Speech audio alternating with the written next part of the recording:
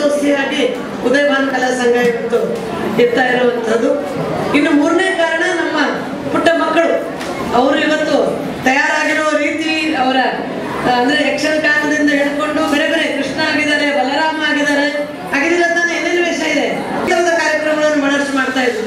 ಈಗ ತಾನೇ ಶ್ರೀ ನರಸಿಂಹ ಅವರು ಅನಂತಕುಮಾರ್ ಅವರ ಅವರ ವ್ಯಕ್ತಿತ್ವದ ಬಗ್ಗೆ ಹೇಳ್ತಾ ಇದ್ರು. ನಾನು ಉದಯ ಭಾನು ಕಲಾ ಸಂಘ ಅನ್ನ ಅಕ್ಷರ ಮತ್ತು ಆರೋಗ್ಯ.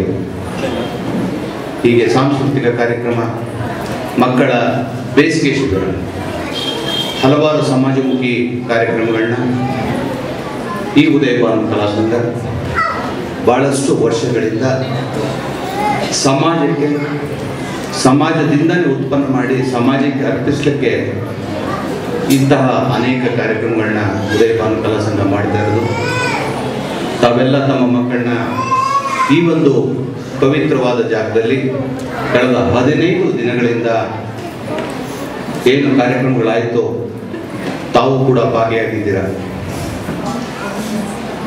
ಇಲ್ಲಿ ಹಲವು ಸಾಧಕರ ಭಾವಚಿತ್ರಗಳನ್ನ ನಾವು ಹಾಕಿದ್ದೇವೆ. ಅದೇ ರೀತಿ ಈ ನಾಡಿನ ಶ್ರೇಷ್ಠ ರಾಜಕಾರಣಿ, ರಾಷ್ಟ್ರದ ಆಸ್ತಿಯಾಗಿದ್ದರು ಸನ್ಮಾನ್ಯ ಅನಂತಕುಮಾರ್ ಅವರು.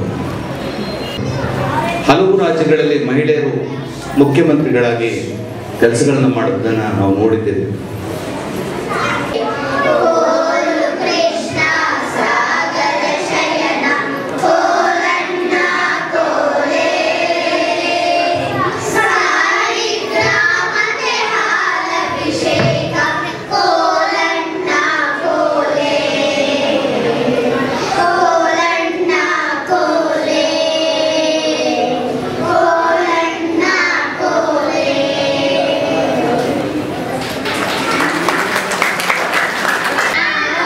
ರಸ್ತೆ ನಿಯಮಗಳನ್ನು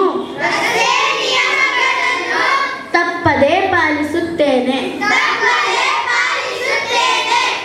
ನಾನು ನೋ ಪಾರ್ಕಿಂಗ್ ಸ್ಥಳಗಳಲ್ಲಿ